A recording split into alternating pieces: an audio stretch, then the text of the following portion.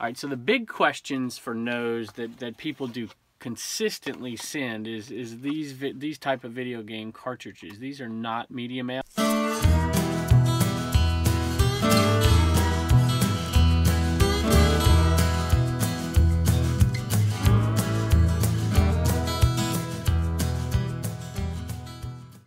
Hello everybody, welcome back to the Commonwealth Flipper channel.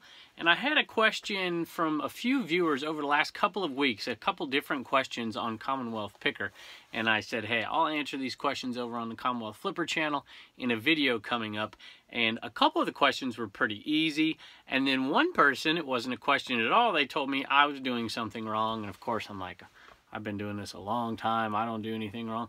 And sure enough, they were right and I was wrong. So I thought, you know what, I'm going to do this video and help some new resellers out there, and I'm going to improve my skills. I have actually read this stuff because that's what boring history teachers do and eBay resellers do. They go on to the USPS site and they read it. I think it's, I remember it's 4.0 on the on the uh, DMM list, and and it's pretty extensive. You can look up just Google, you know, what you can, what you can't, and they kind of give you generic answers, and that's good enough for most people. But every once in a while you come across an item that's a little bit different and those generic lists don't really answer the questions. You got to dig a little deeper into the actual wording in the in the official documents of the post office. And of course, that's all written in bureaucratic mumbo jumbo. So I thought we'd do it a little bit of a fun way, and I'll just give you a list of yeses, a list of nos, and then maybe a couple of maybes, and then a couple interesting items that might answer some questions once in a blue moon when you're looking at one particular type item that you're not quite sure about. So let's jump into it and we'll take a look. All right, obviously the first thing that you can send through the media mail is books. Books. And you might think that people, oh, everybody knows what a book is. Well, it depends. Some things are books and some things aren't books. And the, the basic rule that they have is it has to be eight pages. Eight pages apparently makes a book. Seven pages is not a book. Nine pages is a book. I'm not quite sure. But books can definitely be sent media mail. Anything that's a sound recording, you know, CDs, cassette tapes, eight tracks, vinyl records, all of that stuff is definitely media mail and can always go media mail if there's a recording on it. Scripts, movie scripts, play scripts, even medical information can go. Now, that doesn't really affect us if we're selling on eBay, unless you're selling medical information of people at any rate, I don't think that much matters, but that stuff qualifies as well. 16 millimeter film and anything below that um, that actually has recordings on it, um, that works as well. And educational information. So educational information is where a few people get into trouble on eBay. A pencil is an educational information. That doesn't cut it. They already have to qualify kind of with all those other things in mind and be educational and it will definitely work. Now, there are a couple exceptions to that, and I only know this because I'm a history teacher and I can kind of get a grasp. I can see things coming into the school, and I'm like, that got sent media mail, and that didn't, and that did. And so, for whatever reason, it intrigues me. And we used to have, you know, back in the olden days, you know, I actually started teaching long enough ago where we had a chalkboard and chalk, and, and we had overhead transparencies and all that stuff and maps would be hanging on the wall and you'd pull them down you know if you're of, of any age at all you remember those things. And now those things are selling on ebay. Those old pull down maps and all that stuff are selling on ebay. And they are educational material and maps like that can go media mail. And i've seen some people say no they can't. If if i'm reading this correctly and it's been a while here but if i'm reading it correctly those are actually specific specifically outlined as being allowed, if I recall, and other things like uh, scientific charts, like the periodic table and things like that. Now, that doesn't mean all posters can go, and we'll carry, cover that in the no column. There's a few more things that might interest some eBayers out there that can go that I have seen sell on eBay, and that is, you know, not necessarily a sound recording, but the, the old piano rolls, if you remember those, they put on those um, little players. Those can definitely go media mail, and that's kind of an odd one. But that is, I believe that's specifically outlined in there as well. And maybe other kind of educational charts can go. I don't know if there's any vintage ones that people would sell out there, but I imagine there are, like uh, how a bill becomes law. If you remember those old things out there, those posters, if you will, educational posters. Um, I think the rule on that, though, is that they have to primarily not be text-based.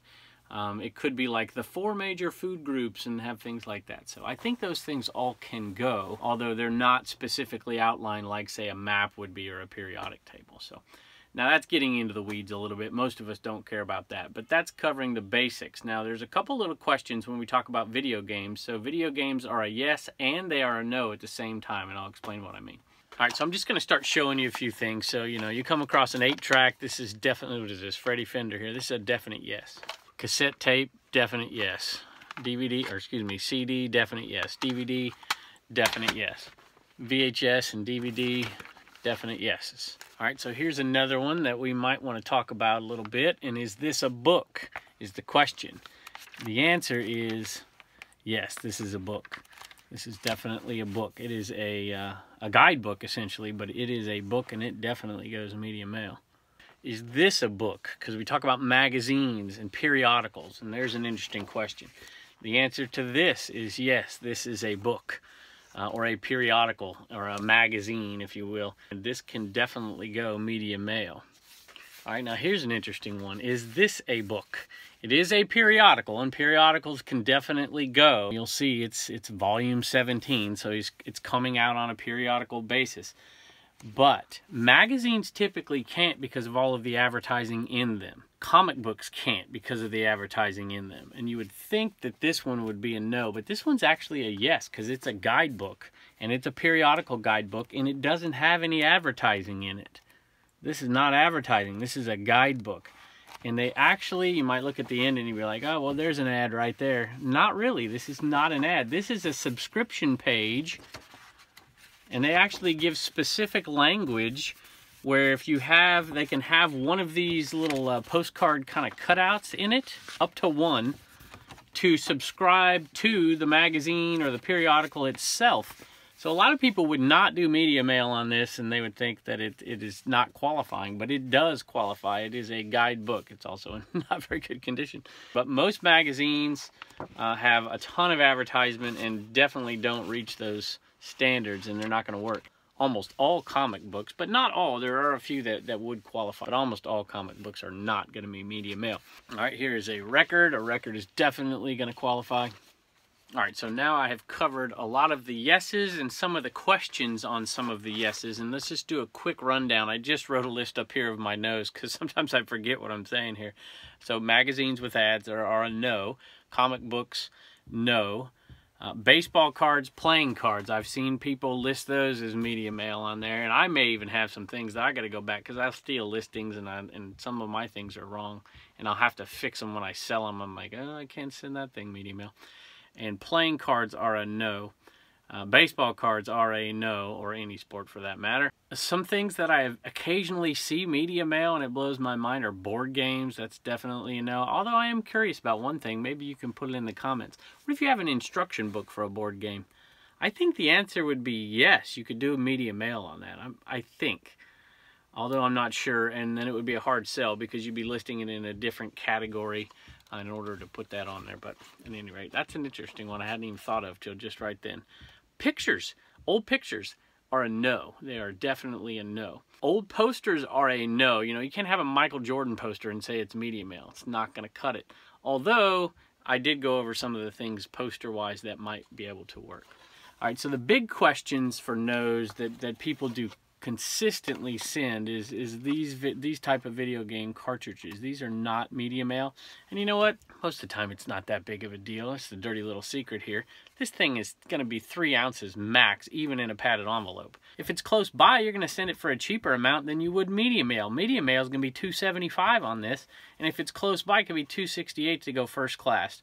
At the very most, it'd be like $3.09 to send this thing first class from the East Coast to the West Coast or vice versa. So it's not that big of a deal. And the, the buyer's going to get it quicker anyways for most of these cartridges. There's some of these cartridges that are pretty hefty and can get up, if you package them well, get up over four ounces, but doesn't really make that big of a difference. Same deal here. Now, this is an interesting one. This is not going to qualify. Whoop, there slipped out there, the little cartridge. However, it is a learning game. right there. And so some people might think, you know what, this is educational and it'll work. I don't think it will. But like I said, this thing's under four ounces anyway, so who cares? So what about video games that aren't cartridges? That are the disc type, you know, computer readable disc video games. That, in my opinion, and it looks pretty clear, is a yes, you can send those media mail blank media. And this is where I actually made a mistake the other day and I just had it in my mind and, and, not on these. You can't send these media mail, blank cassettes, things like that. But I had in my mind, I had floppy disks and I'm thinking comp computer readable. Yeah, this is definitely computer readable and all that, but there's nothing on it. It can't be computer readable if there's nothing on it. So any blank media is not going to go media mail. And this is what most people send at media mail anyways. And that leads me to the question about can you send something media mail and get away with it and is it okay? Well, that's not for me to decide. I suppose that's for you to decide. And I have sent things in the past based on lack of knowledge. I did did it the other day and didn't even realize I did it until a viewer said something about one of the things. So, yeah, you're going to get away with it 95% of the time. I would say maybe more. I mean, I don't hear many people complaining about the post office opening the packages up and overcharging them or, or, recharging them, but I know it does happen. It's happened to me one time, happened happened by purely an accident. I didn't even know that I had done it. I Frankenbox things all the time. And a lot of times I'll save the scrap cardboard from those Franken boxes and then I'll use it when I put it in a shipment to, to, to give a little extra backing to something. Uh, definitely a media, media mail item and I put a piece of cardboard behind it and one in front of it and one of them I put in there was part of a priority mailbox. Didn't even realize I did it.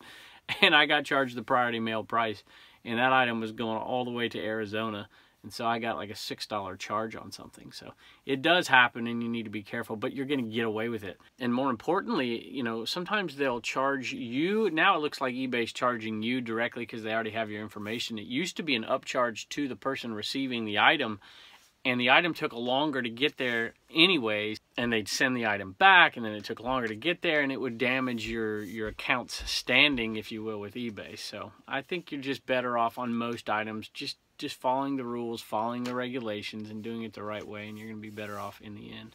All right, here was an interesting one I heard somebody arguing about the other day, and this is all recipes. They have recipes, recipes, recipes.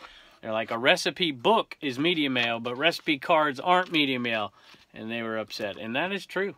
This would not qualify for media mail under any of the regulations that I'm reading here. So recipe books, good. Recipe cards aren't going to work. Okay which reminds me of something like a VHS tape. If you've ever watched a VHS tape, you're like, well, there's advertisements. They're running trailers all the time. The post office considers those incidental advertisements. Um, I'm not quite sure. Maybe the uh, movie companies have some kind of high-priced lobbyist to make sure that they can send that stuff cheaper. I'm not quite sure. But those would not qualify. Uh, they would qualify as media mail and apparently don't qualify as advertising which I think is a little ridiculous. But that leads me to one more little thought and question. I see a lot of people selling VHS tapes. They were blank and they have recorded TV shows and whatnot and are selling them. One, there's a copyright problem right there, but there's advertisements. Let's say you were recording cartoons from the 1980s and you're selling those and shipping them out media mail.